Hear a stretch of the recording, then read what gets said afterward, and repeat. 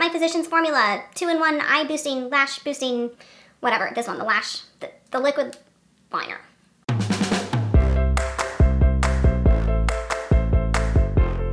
Hey guys, welcome back. Today we are chatting about all of the makeup I took with me to the beach when I went on vacation this past week.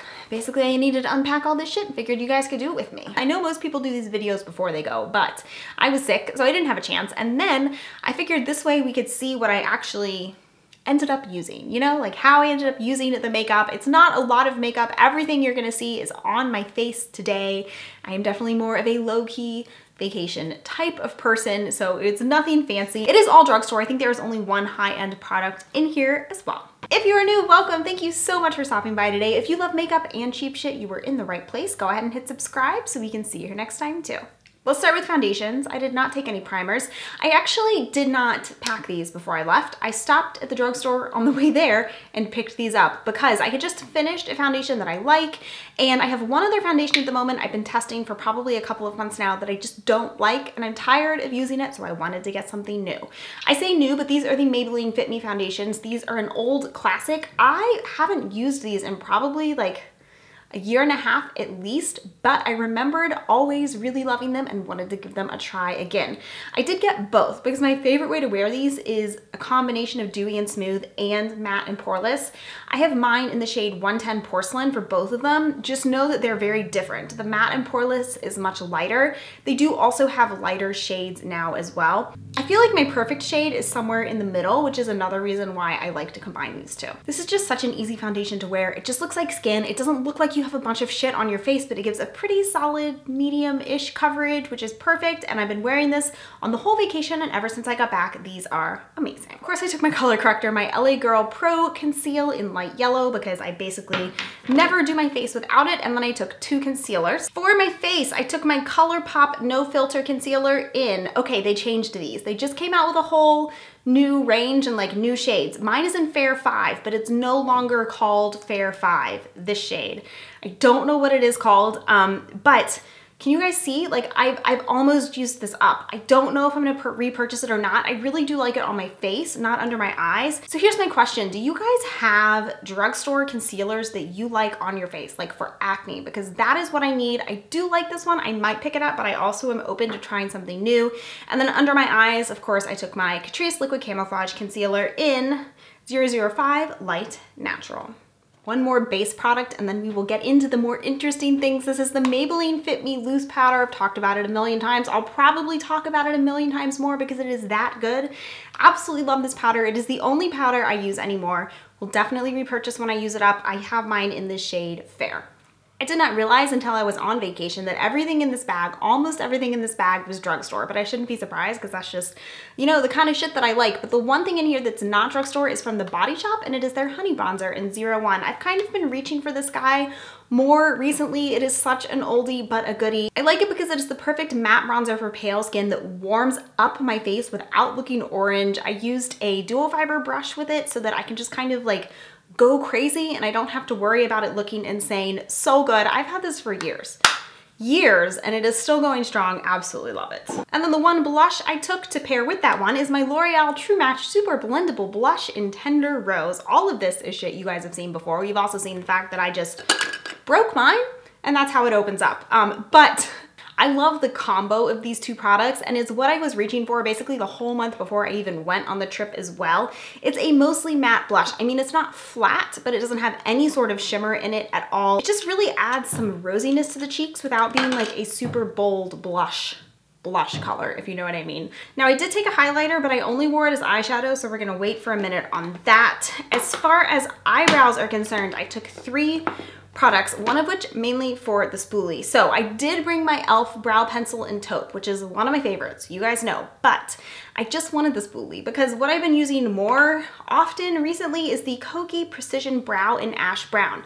When I did my big roundup of drugstore brow products, I talked about how much I liked this one, but that I really, really hated the price tag and would not repurchase. But here's the thing, you guys, I've been using this almost exclusively since I made that video, what, a couple months ago or something?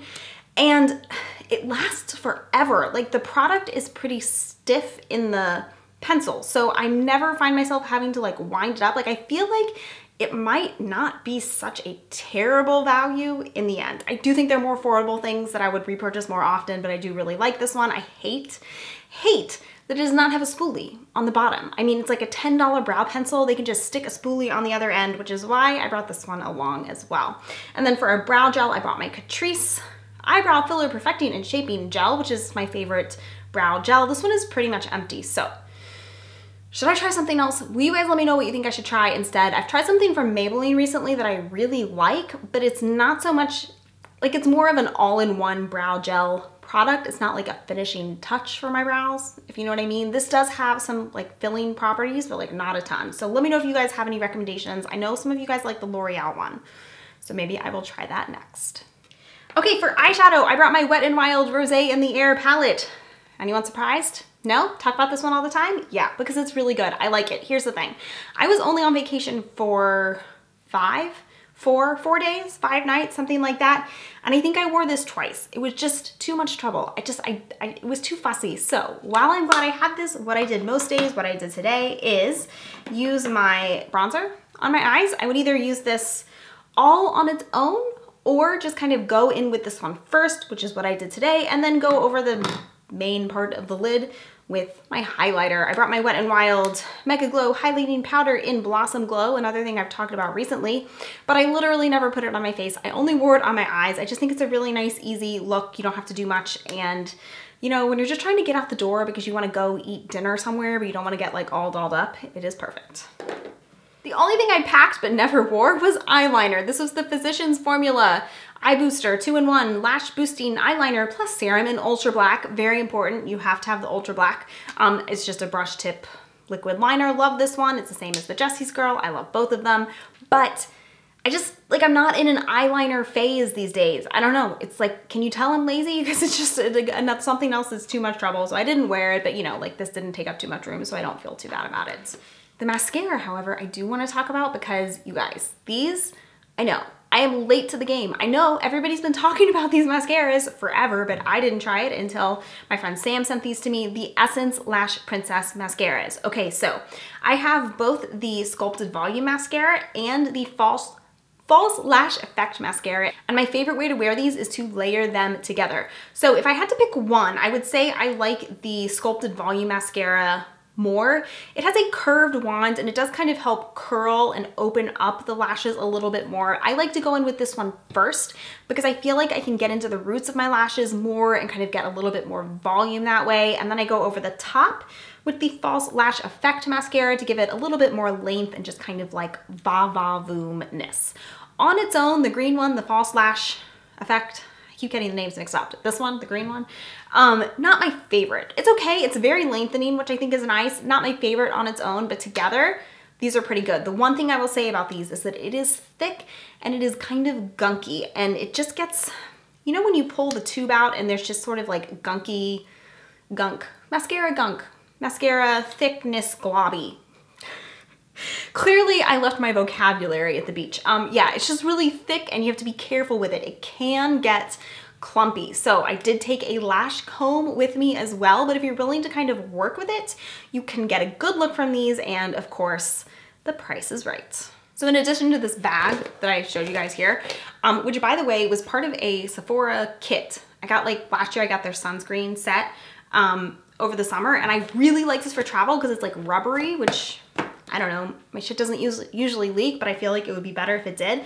I also took a little smaller bag with a few brushes and like 25 lip products. I don't know, I'm very careful with what I take with my makeup. And then I get to the lipsticks and I'm like, I don't know. And I just throw them all in my bag. I literally opened my drawers and just grabbed lipsticks and threw them in my bag, but I only wore one the entire time. So that's what I'm gonna show you. And it is from Estee Lauder. Ooh, I guess there were two expensive things um, in this. Anyway, this is their Pure Color Love lipstick in Crazy Beautiful, which I'm very proud of myself for saying that right. Did I get it right? Yes, Crazy Beautiful. I always try to say Crazy Love, but it's not Crazy Love. It's the Pure Color Love.